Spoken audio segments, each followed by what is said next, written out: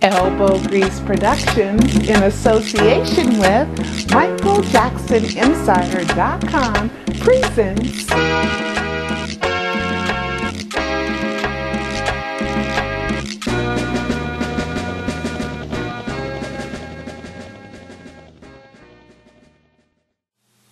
Hi, my name is Geraldine Hughes. I'm reporting from the Jackson Truth the Jackson Truth is a credible news source of information regarding the wrongful death of Michael Jackson, the Conrad Murray trial, and also to bring you updated information, comments from the family on true comments from the family uh, so that the fans and the supporters worldwide can know how the family feels about what's transpiring.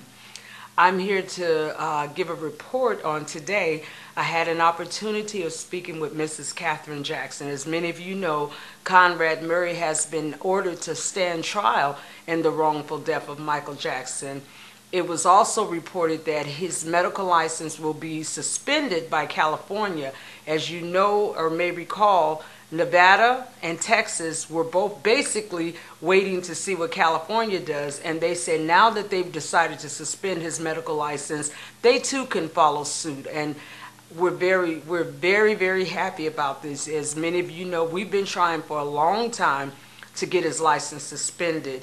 Um, but just as an update, as many of you know who's been following the trial, um, I really believe that the judge made the right decision. I personally believe he made the right decision, especially if you were sitting inside the courthouse and you heard the testimony of the security guards.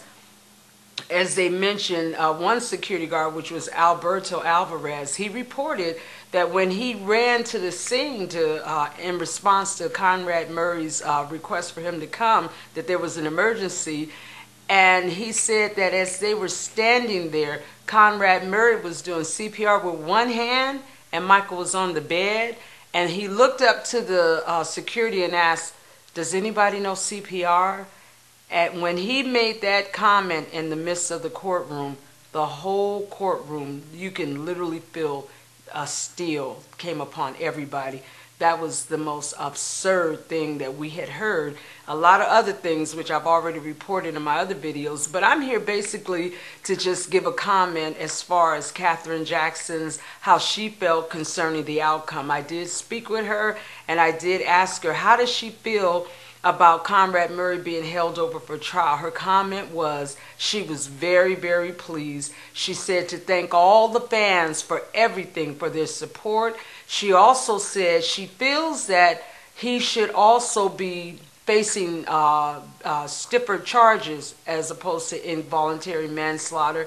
And she said the only thing she wants in this case is justice. So I'm Geraldine Hughes. I just wanted to report that to let everybody know to and, and also to thank everybody that's been still fighting, even if you're behind the scenes, even if you're at home sending your emails. Thank you so much. All of this is helping in the wrongful death as far as uh, fighting for justice for Michael. So I just want to say personally thank you too, and we'll continue. We will continue to report. The uh, uh, arraignment will begin January the, the 25th and they're going he's going to be arraigned. I'm believing and i'm hoping that they add the additional charges at that time but uh, conrad murray will be arraigned on january 25th i will be there to continue my reporting. So god bless you. Thank you for your support